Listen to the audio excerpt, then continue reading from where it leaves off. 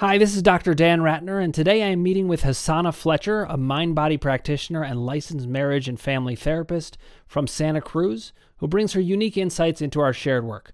If you haven't already, click subscribe, ring the bell for notifications, hit like if you like what you're hearing, and put your comments below, and I'll get back to you personally. So I'm so happy to have you on our show, Hasanna. Thank you so much for joining us. I'm so happy to be here.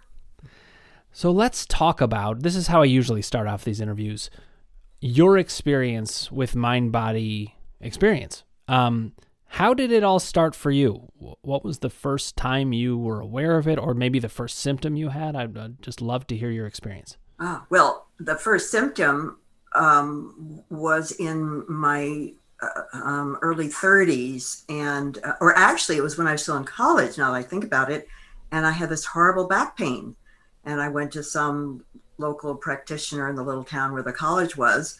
And he said it was because one of my legs was shorter than the other. And so then for years, I had to wear, you know, some kind of any new pair of shoes had to have something built up on them. Um, but then I'd say the, the real symptoms started um, when I was about 30 and I had my first child. And somewhere in his first months, I began getting horrible back pain. Now, looking back, I understand why I did, but at the time I thought, oh, I'm carrying this heavy baby around. And, you know, right. so then I started my relationship with chiropractors um, that went on for, my God, 20 years maybe. And I, you know, there were some really wonderful people, but I was very dependent on that. Um, so then, fast forward, and I had been practicing as a therapist, but not knowing anything about TMS at that point. And I had a client who had terrible back pain to the point where she was going to law school. She had to stand up for all her lectures. She would come into the sessions with this big back brace, all this stuff. So I just did, you know, regular therapy with her, and it didn't help at all. Um, and then I was away. I think I came back when she was scheduled for back surgery, and I come back, and she's like almost all better. Um, and I said, "What happened?"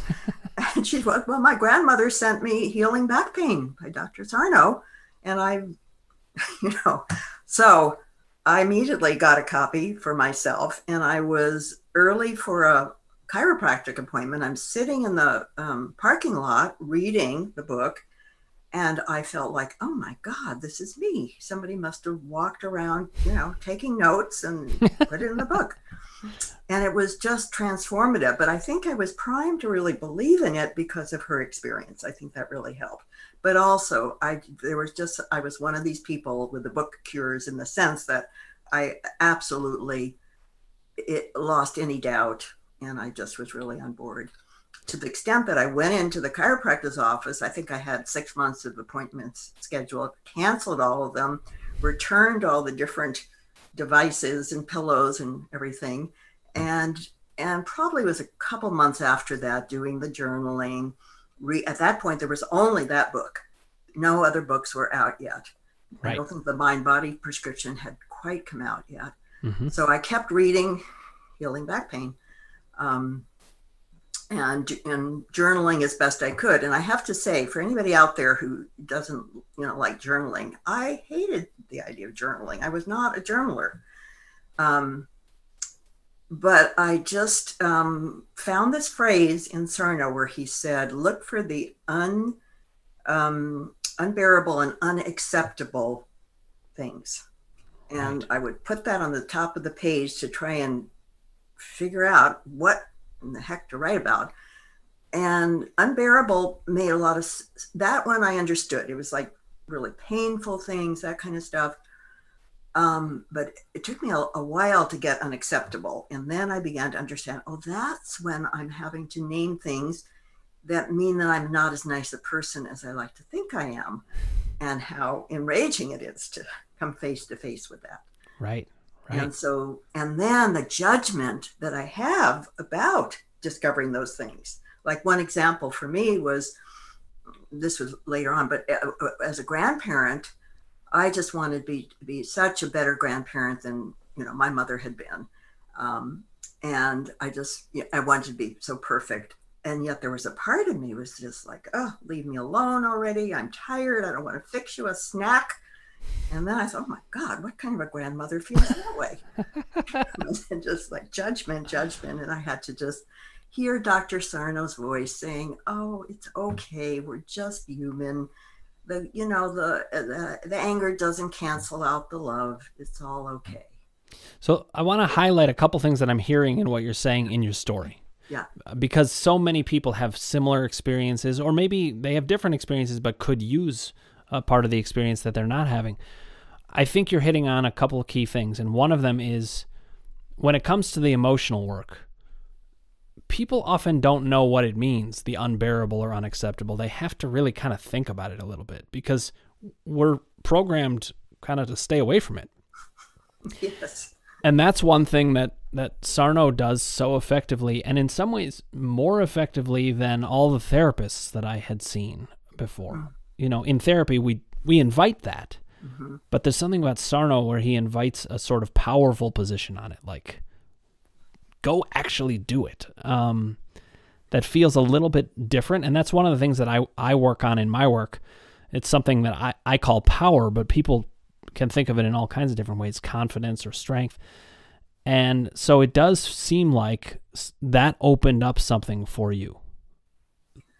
Yes. And um, and at first I was just writing in, in like sentence fragments and and arrows.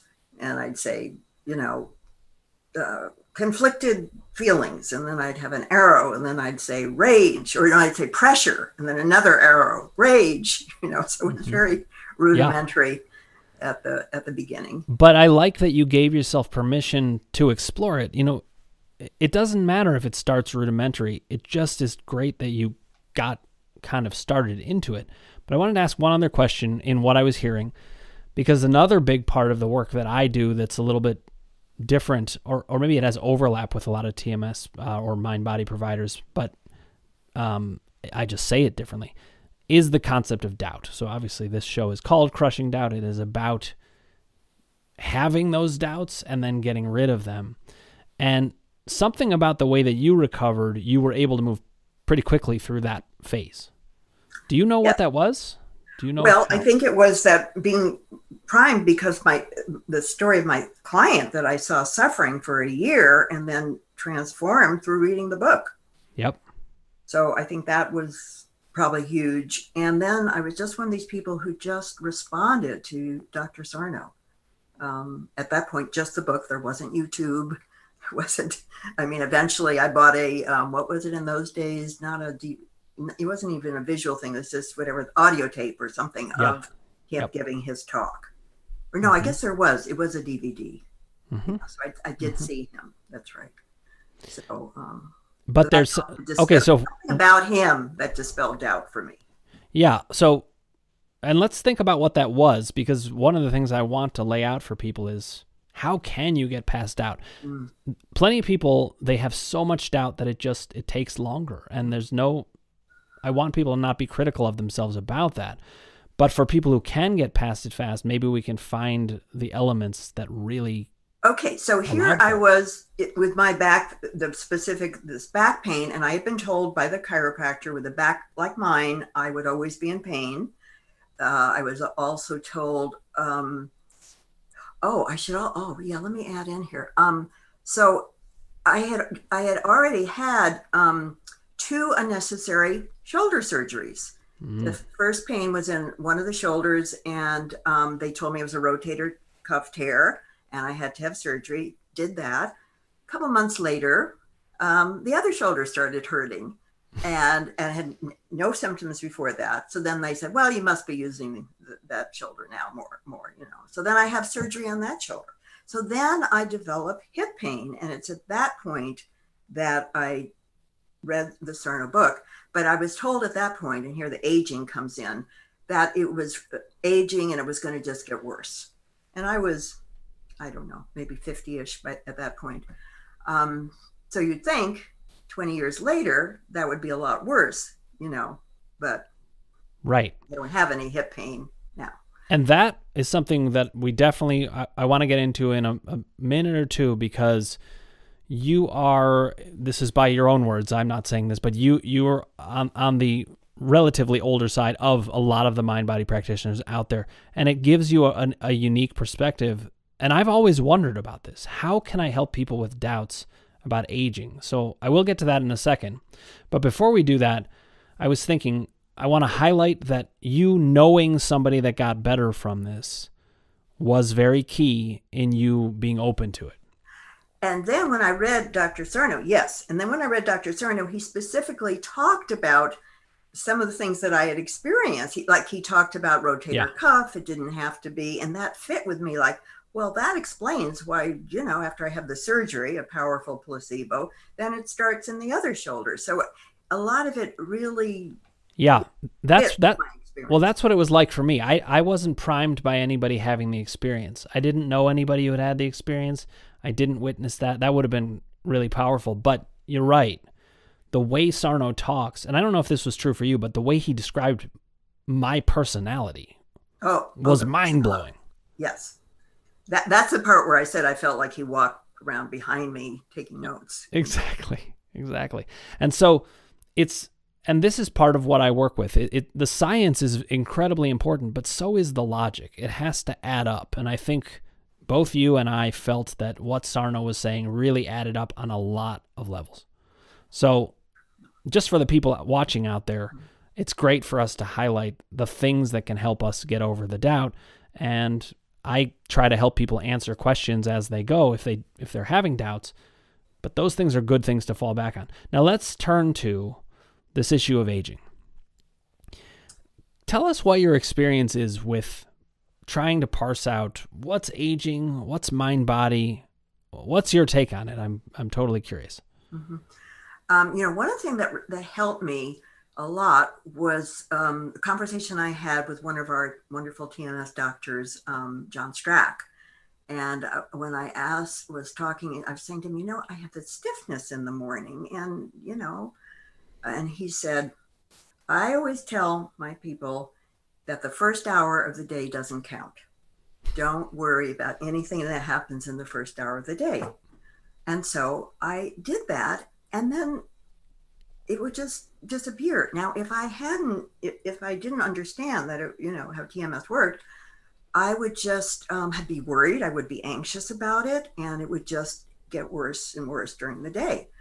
But that way, just thinking, you know, and I would have this little mantra it's only TMS, it's only TMS, and just go about as best I could. You know, mm-hmm. I sort mm-hmm. of identified with my cat, which who's an aging cat, and she would stretch a lot in the morning. You know, so um, but then there would be no pain the rest of the day. So that's which which you know I don't know how you think about it, but uh, when I hear something like that or when I experience something like that, it's if we're going to deny certain facts, we're going to lose all kinds of data. And that's a piece of data. The fact that you changed your thinking and suddenly it wasn't hurting as much. I understand the logic behind the idea that we would have more pain as we age, but it turns out it's not true at all. We do go through changes, as we age. And this is the way I think about it. So I, I want your guidance on this because you're more experienced in this. But I think that we go through changes, you know, bodily changes, but none of them hurt. And the, one of the ways I think about it is like with eyesight. Our eyesight gets worse over time, but it never hurts. Ah, that's a very, I like that, uh, you know, analogy. Um, yeah. And I think I was lucky because my um, GP here it was also somebody who was very interested in in this approach. And i think he even went and, and studied with sarno for you know a, a month or so. So he was very open to this. I remember him telling me uh, and we worked together. I would refer to him he'd refer to me but, and he was telling me about a, a patient he had whose hands were just gnarled up with arthritis and there was no pain. Right. So um, this was when i was younger when he was telling me that. So then years later I wasn't remembering that, but and I developed this funny um, bump in my finger suddenly, and it hurt, and I was worried about it. And I went to the doctor, and then they prescribed antibiotics. They didn't know what it was. This whole thing, and then it clicked after a while. I thought, wait a minute, I think this is arthritis. And that doesn't have to cause pain. And the pain went away. And then some months later, the same, the other finger, the other hand started getting that same kind of bump. But it, I just thought, oh, that's that's arthritis. Um, I have to worry about it. And there was no pain in that. Right. It, it wouldn't it be great if we had started to think about the term arthritis as just like a a, a little harmless growth as opposed to something painful. When I was growing up and I heard the word arthritis, the number one association I had was pain. Yes. That's what everybody thinks of. But yeah. if we can think of it as just something that develops but doesn't hurt, it really is like freckles on the skin. Sometimes people talk about it's like gray hair, but the, the the tricky part about that is your hair doesn't have any nerve cells, so it never hurts. But your eyes changing and not hurting, or freckles changing and, and not hurting, we can have all these internal changes. So let me ask you this: Have you has that ever been a challenge for you since getting all this information as you age? Are there still times where you you struggle with that and you say, I don't know, maybe this is aging, or does that doubt creep in? Well, so far I haven't had a symptom that is, you know, that has scared me or made me wonder what is it. Um, in for instance, this is not an aging thing, but once, I mean, I was used to having. I want to say to people out there, yes, I had this, you know, like almost like a book cure with with Dr. Sarno in a short time after reading it. But then that doesn't mean that I haven't had symptoms over the yeah. past 20 years. Right. I absolutely have. But I've never, what I don't have is fear anymore. Right. You know, whatever it is, I'm, I'm not afraid. Yep. Um, except once I had just gotten off the phone um, and all of a sudden I had a horrible pain in my jaw. And I, that was not an area that ever had pain before. So I didn't know it. And I, and I was worried. I thought, oh my God, I've got to go to some specialist. What's happening here? I can't function. And then all of a sudden I thought, wait a minute, I think this is what, uh, you know, it's TMJ. That's a TMS thing. You know, and then immediately the fear went away. And then I just thought, well, what, what was just happening? And I realized I was just talking to somebody who I knew I had to be very careful with and really like clench back any any emotion. And um, you know, so within a couple of hours, or, I mean, the pain just started just going down very quickly. And I I like the way you highlight that though, and it's something that I say often that it doesn't matter how quickly you get better initially. Afterwards, I think of it as kind of the human condition. We're all going to have mind body symptoms throughout any given day or any given week or any given month. We're going to have things pop up. And to me, the key is understanding it. So now I wanted to hear a little bit about how did you shift into doing the work? How did you how did you um, start to work with clients on this once you oh, realize that, that, Yes, that work. Not yes. your personal work on it. Right. Yeah. Um, well, I actually, um, how did how did that happen? I, it became clear to me that I felt like, oh my gosh, I want to share this. This is incredible. I don't want people to be suffering. So at first, just my regular clients who were not coming to me for that but they would mention, "Oh, I think I'm going to have to have shoulder surgery," and I go in high alert. Yeah, no, no, no, right. But then you run it. So if so, and I and that was hard because sometimes, you know, people they weren't open to that. That's not why they came to me for. That was just an incidental thing, and they were here for other stuff. And so that so that that could be hard because not everybody was going to be open to it. Um, right. Right. So it, it, and then I uh, so I think yeah my GP did start referring people to me. So they were coming who were already open to this. And so that that made a big difference. Yeah. And now do you see patients about mind body issues exclusively now? Yes. Okay. Because it, I just and I can I barely have enough time for that. So right. I, but, you know. I, on the other hand I find that that my whole training as a therapist because often it's relationship issues that are you know part of what's causing the pain it's various things that my training helps me with as mm-hmm. opposed to just being a tms, co- TMS coach or something Yeah, I and I'm totally in agreement with that. I, I the fact that I have a lot of therapy experience Yeah. makes it so much more effective the mind body work that I do, which is not not to say anything disparaging about mind body coaches who don't have the training, but it just I felt lucky that I could bring this kind of information um, in that dual way where I really understood both. But the other thing that happened for me, and this is really interesting, I have some patients that I have been seeing for a, a, a long time over the duration of the time that I became a mind body therapist as well.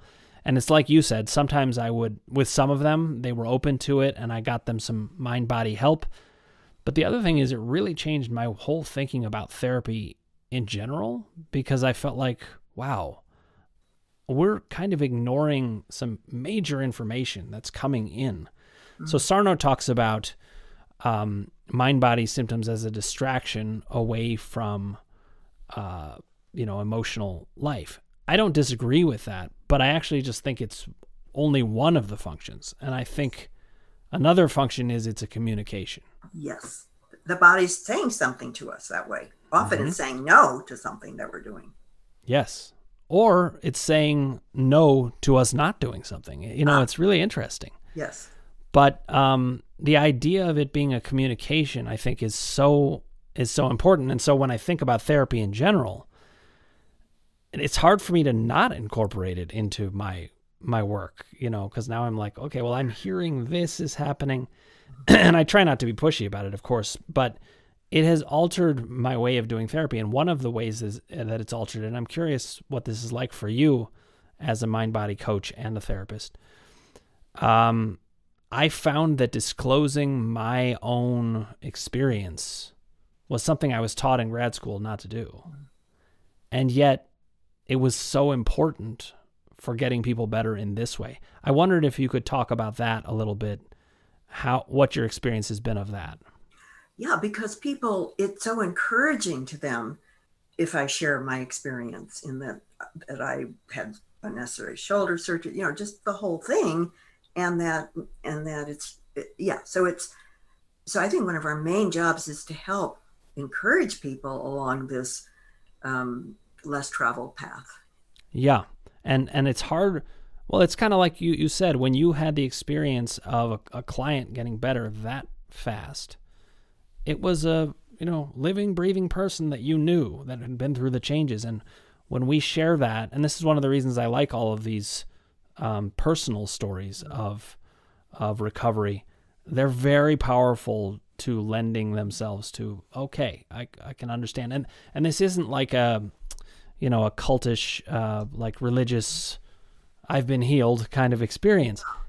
It's science and logic. And it actually have, i don't know if you've had this experience but i sometimes look back on the old theories and i laugh because they sound so illogical to me um, things like herniated discs Oh, causing back pain oh, I understand the logic. It's not like it's totally weird or anything, but it doesn't correlate.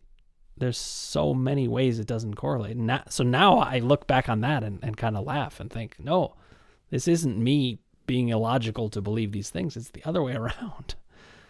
yeah. And I want to say a little bit more about what you, um, the point you made about you. You know, you and I are talking about going a little bit beyond what Dr. Sarno was saying, but now some of the other doctors certainly are on board with the idea that it's these symptoms are a way of communicating something to us that needs attention that we're not paying attention to otherwise. Yeah. So they're you can look on them as a gift, even though it's. Can I use bad language here? Or not really? you, you, you, you, you Okay, can. I'll just- Go ahead. I'll- no, no, I'll- no. You use what you want. The GFO, um, a- Yeah. a, golden effing uh, opportunity. there we go. Okay. I, I love that you have that in your in your in your lexicon. though. that's good. It is. because it really is. You you think at first, oh my God, there's never going to be a way that I'm going to be grateful for th- these symptoms, and Yeah. almost everybody by the end of treatment really sees how it's. They would never have done made some of the changes they did without this motivation. Yeah, you know, it's um it's a great point because there's no way that you can feel grateful for them while you're having the symptoms. I am truly grateful I had the symptoms because it changed my life. And actually that brings me to let let's finish on this point and then you know we're going to have more conversations over over the years, I'm sure. But one of the things I found in my getting better is I didn't just get better from the symptoms. I also got better in my life. Like my I and that's where this whole idea of the power column uh, work that I do comes from is I realized that I had been doubting myself and not being in my own corner and not aligned with myself and and I had decades of therapy trying to address these things. And it's nothing against therapy in general or the therapists that I had, although my therapist now is is even better because I'm I selected it with this selected them with this in mind. I became more powerful and I find that that is true when I work with people all the time. They they become more powerful or happier or more full in some way. Is that something that you've seen in the work? Yeah, and I'm gl- I'm glad you're bringing this up. Um, one of the things uh, when I think of like what allows for recovery, and I, and if I have to boil it down to two things, one is um, related to what you're saying. It's being uh, what I call learning to be on your side instead of on your case. I like that. And so for people to to see the ways in which it's just so habitual to have this double standard where they're kind to other people and so hard on themselves. And Yeah. and I think that you know Dr. Sarno talks about the rage that this kind of it's a form of self-criticism what it that it generates which adds to the reservoir of dangerous or volcano of dangerous feelings so one way to lower those feelings is to not be generating that kind of internal criticism and rage Absolutely. And one of the distinctions that I have made, at least with myself, but I've seen it apply to other people, is I pretty much always liked myself in many capacities, but I wouldn't say I loved myself. Hmm. It was really different when I recognized the core part of myself that was wounded and not feeling good about myself. So it I just want to highlight that. You can like yourself and hate yourself at the same time. And that's certainly something I had. And the, the, the number one thing that changed that for me was pain. yeah It's un- unbelievable to think, but it really is true. yeah i think that's that's true your body's saying something really needs attention here and you're motivated because of the pain to um, i use inner child work a lot to help with this being learning to be you know kinder and accepting of yourself That's it's great because if you if you frame it as a little child, would you really do that to a little child? yes But we do it to ourselves. So this has been a great conversation, Hasanna, and I, I'd love to have you back on sometime soon. Um, I feel that I can learn so much from each practitioner that I talk to about the way they're thinking about it, and I also love to share how I'm working because one of the things I'm hoping for is to alter the national dialogue over time, and I think these voices all ringing out together and talking about it is key. So I appreciate you being a part of it, and I look forward to having you on again soon. Thank you. And thank you so much for doing these. I, I, you know, just discovered them recently and they're, I'm referring them to people, to my people a lot now. So, Well, I, I really appreciate it, Hassan, and I appreciate you see the value in them. Um, I'm not surprised though because we're we're very like-minded. We've had very s- similar experiences, and um, I'm happy for you that you went through that process, and I think have lived a much happier life because of it. Same with me. yes. So we'll keep comparing notes, and thank you for coming on. Oh, lovely to be here. One thing I love about all of these interviews is they all bring a very different perspective. And one of the th- uh, things that I was most excited about about talking to Hasanna is that she understands the overlap between mind body work and what I would call the trigger of aging. Because as people get older, there are all of these things that we assume are going to be bad or painful. And I, I was really struck by her talking about getting arthritis and having that physical change but realizing that it didn't cause pain. These are the kinds of things that are, are great breakthroughs for a person personally, but they also can be utilized by the rest of us to know we don't have to worry about this. You know, when I think about Hasanna as I age, it's a great comfort to know she's been there already and it did not lead to pain, just like they say in the studies and in the books. So that's one aspect. But there was also, as usual, a lot of confirmation about things. Um, one of the things I was really struck by is in her reading of Sarno. I know she's one of the cases that got that book cure, got better faster. But she did say, I have other symptoms. It's not like it's just gone. So if you don't have that book cure, don't worry about that so much because that is about doubt. And I enjoyed getting to talk to Hasanna about that. But one of the things that was most convincing to her was the same thing as with me, which is how well Sarno described our personalities. There are people out there who don't have that personality, though, and I just want to highlight that too. That doesn't mean you can't get better. It just means that that may not be an active part of the process that's going on for you. So there's lots of ways to get better. And every time I have somebody on, I feel that more and more. We have a lot of overlap between us, but there's also different ways of thinking about things. So it was a pleasure having Hasanna on. We'll have her on again soon, I'm sure. And I appreciate you all watching and listening. If you haven't already, click subscribe, ring the bell for notifications, hit like if you like what you're hearing, and put your comments below, and I will answer you personally.